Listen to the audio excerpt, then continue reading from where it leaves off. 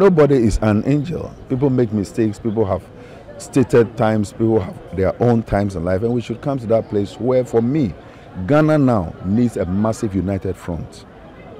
We need a massive united front to understand the system and to know that we have decided to get into democracy. We must be circumspect. We must play matured politics. We should not play children politics. Politics that respects your opponent. Politics that has decorum. Politics that when you say things, the way you say it and how you say it matters a lot. And as, as people of Ghana, we should remember what has happened to other nations of the world. We don't want it to happen in Ghana. We don't want Ghana to be like Rwanda, God forbid. We don't want Ghana to go through the Coast experience. We don't want Ghana to have the experiences our neighboring country had. Ghana has been a safe haven, and people refer to Ghana as peaceful people. Let's maintain the peace.